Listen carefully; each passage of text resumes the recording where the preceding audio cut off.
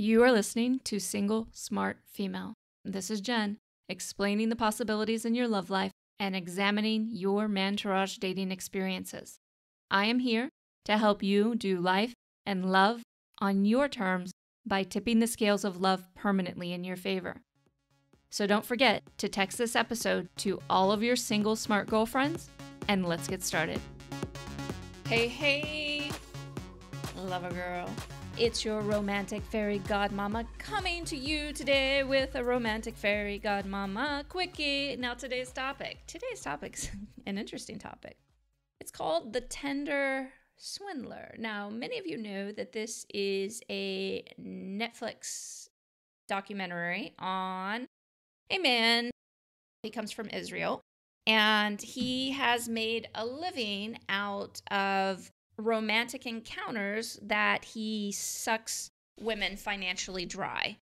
And I want to talk about it today because it's a really important topic. And when I go into all this, I want you to all understand there's no victim blaming here on my end. What I am here to do is to take apart some of the things that were happening and instruct you on signs that don't lead you down the same path with anybody it's incredibly frustrating to hear all these things. But I do think as women, we need to be more in tune and understand certain things so that we can prevent certain things in our life. I'd, I'd love to say that it should never happen, but on the same page, let's acknowledge what is happening. And as you step into the world of becoming an adored woman, know that you don't have to be a victim to anything like this. Now, I've done podcasts before on catfishing, stuff like that. And so definitely listen to those because there's great information in there. But I want to specifically talk about the Tinder Swindler today. I don't usually watch stuff like this in full disclosure because most of it gives me a headache. There are very few romantic comedies that I like to watch, things like that, just because I start over analyzing. Because, you know, this is what I do for a living. I analyze situations, I help women remedy them, I strategize with them, we do all kinds of stuff. So I was really surprised that I was actually able to go through this and watch this documentary and be able to not get extraordinarily angry. But it did lead to, I mean, there were some glaring things in there that most women wouldn't necessarily recognize, but glaring to me that I want to share with you so that they become glaring to you and help you avoid these situations. So, that one of the things that was glaringly obvious in in this is that if you were looking through the text conversations that this gentleman was having with these women is there was absolutely no meat to these conversations. It was, I love you. I miss you. I want to have your babies. I love you. I miss you. I want to have your babies. I love you. I miss you. Can you send me $40,000? So, what I want adored women to understand when you're in this world is you're looking for somebody that intellectually meets you. Now, I'm not saying that this guy wasn't smart in many ways. In fact, he's he is a genius on how he is able to emotionally manipulate women.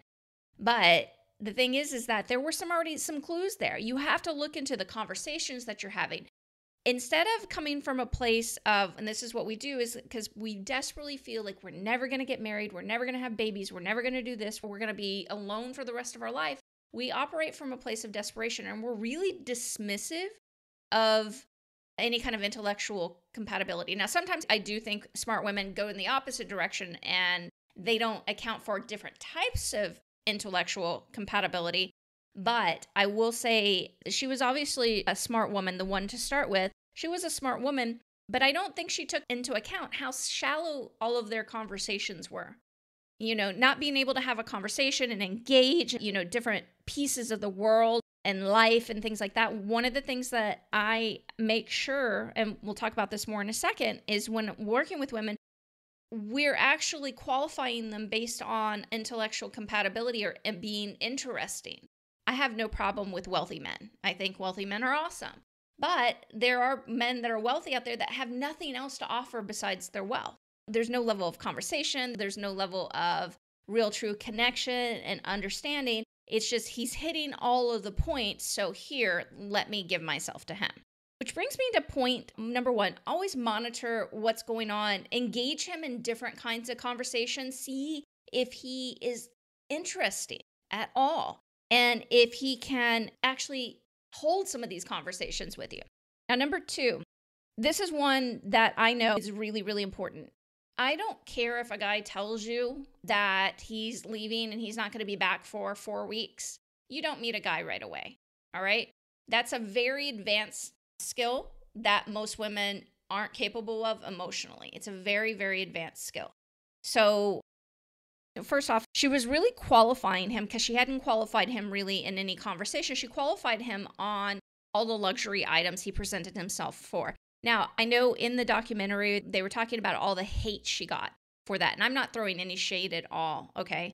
Like I said, I have an appreciation for wealthy men, but being wealthy isn't the only qualification. There has to be a significant amount more even before you go out on a first date with them. Do not, do not, do not, I repeat, go out on a first date the first day that you meet somebody you need to spend at least two to three weeks holding online conversations or phone conversations or video chat conversations. And those can be, you know, I call them video dates or phone date or whatnot to get to see if this guy has any level of intellectual capacity that amuses you, that inspires you, that you have fun with, and that you can engage with. If you can't do that before going out on a first date, you should not do the whole meet and greet thing. One of the saddest things I hear is about women talking all the time. He wants to meet me right away, so I, you know, I went ahead and met him. Ladies, you have to start taking men on your dating pace. And if they fall away beforehand, okay, fine. They fall away. It's not the end of the world. He just disqualified himself and you didn't have to do anything. This whole meet and greet thing all the time, it is not working most of the time. Now, are there success stories from it? Yes, of course. There's success stories with just about anything. Okay? If you look hard enough, there's one success story. Now, you may know somebody that had a success story, but this idea of trying to meet somebody as soon as you can to assess chemistry, either by his part or your part, it fails over and over again you are much more likely, it's not a guarantee, but much more likely to set up amazing chemistry because chemistry is malleable, believe it or not. If you can find somebody that's engaging before and willing to follow you at your pace. If he's not willing to follow you at your pace, then fuck him. That's his loss. Move on. Do not get pulled into the scenario of having to meet somebody right away. This guy was really good. He laid it all out. He qualified himself with luxury items and luxury experiences in his profile. And then he said, I'm going to be leaving. Would you like to meet for a drink? And somebody's like, Sure, I can do this, yada, yada.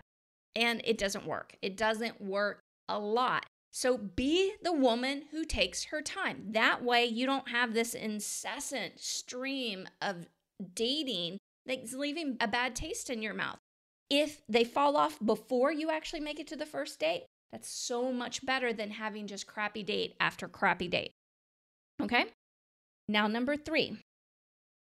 This is a big one. Stop going immediately into exclusive relationships, no matter how hot and heavy it is from the beginning. Just stop it. Okay?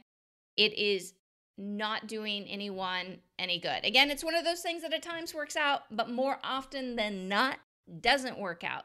So I want you to remember this. You are stepping into my world and becoming an adored woman. An adored woman evaluates exclusivity.